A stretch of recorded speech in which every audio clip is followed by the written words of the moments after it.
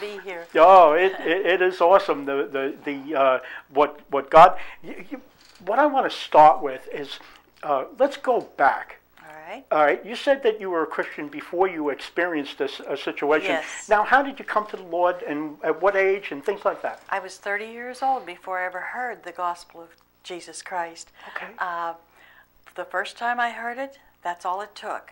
Wow. I knew I was a sinner. I knew that. I had had a kind of rough life. Uh, I'd been married and divorced, and I had three children, and I didn't know what to do next. My heart was broken. Uh, there I am with three children, hardly any money, and a lot of responsibility. And my girlfriend called me one day and she says, Pat, come on over tonight. I have what you need. And I said, What's that? And she says, You need saved. And I said, What's a saved? I had never heard about that. I never Yeah. under, I didn't understand what she was saying. So over I went, and there sat a pastor. His name was Ben Saint. And he explained, and I'm giving you a short Yeah, thing of this. He explained how all have sinned and come short of the glory of God. Boy, he didn't have to talk about that long. I knew that. um, then he explained why Christ died. Christ died for our sins, according to the scriptures. Yes. And he was buried and he rose again the third day, according to the scriptures. Can you tell I used to teach children? but anyhow, Yeah.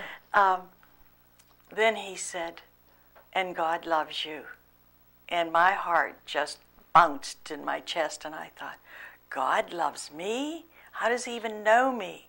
And he said, For God so loved the world that he gave his only begotten Son, that whosoever believeth in him should not perish, but have everlasting life. Yes. Uh, I had been raised in a church that you didn't talk about your religion. Okay. That was a personal thing. Yes. So I personally didn't do anything right then and there when the invitation was given in her living room at that house or at that time.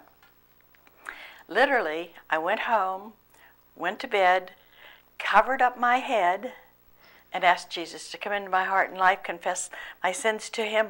I said, I believe you died for me, and I want to be saved, and I love you, Jesus, and thank you very much for saving me. And guess what? He did. Yes. It was that 30 years it took to come to that point. And when I got to the point, that was it. Now, what, did you feel anything when you? I knew that I knew that I knew that I something knew inside that just. I was cleansed and saved. Praise God. I knew that. Never Yeah. forgotten it yeah. and won't forget it. I, I like to walk down memory lane Yeah. and to remember things. Mm-hmm. The next memory I have, a really wonderful memory that I'd like to tell everybody about, is um, I needed to get baptized in water. Okay. So they explained that, boy, you do that and you're just telling everybody that you just got saved and all this. And I said, woohoo, I want everybody to know this. Mm-hmm. So I, I got baptized in water. And oh, what a wonderful, freeing, more freeing feeling that was. Then the same girlfriend told me that about somebody was coming to tell us about the Holy Spirit, and I thought, well, I've learned so far that the Holy Spirit come to live in me. Mm-hmm. When I got saved, I thought, there's more. I wanted to hear more. Yeah. So back to her house we went, or I went, and uh, he explained about the Holy Spirit and how he needed to be turned on, like electricity needs to be turned on after the house is wired. And he explained all that, and he said, May I pray for you? And I said, Yes. And he laid hands on my head, prayed for me. Nothing happened that I knew of. Mm. Went home. I still must have had some of that old teaching in me, you know. Don't talk about it. Uh, anyhow, I went home, and that night I went to bed early. And I crawled in bed and I said, Lord, I don't understand what happened or what this is all about, but I want everything you want for me.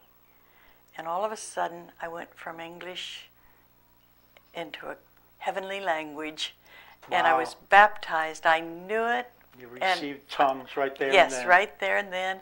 Wow. And my husband didn't come to bed for a long time. It was a good thing because it had Mm. probably scared him out of his wits. you know. but anyhow, um, after that, uh, we he, we both had children. We got married, and uh, we both had children. To, not together, but we each had children. And uh, we lived on a farm. I loved it out in the country. Um, we had several businesses,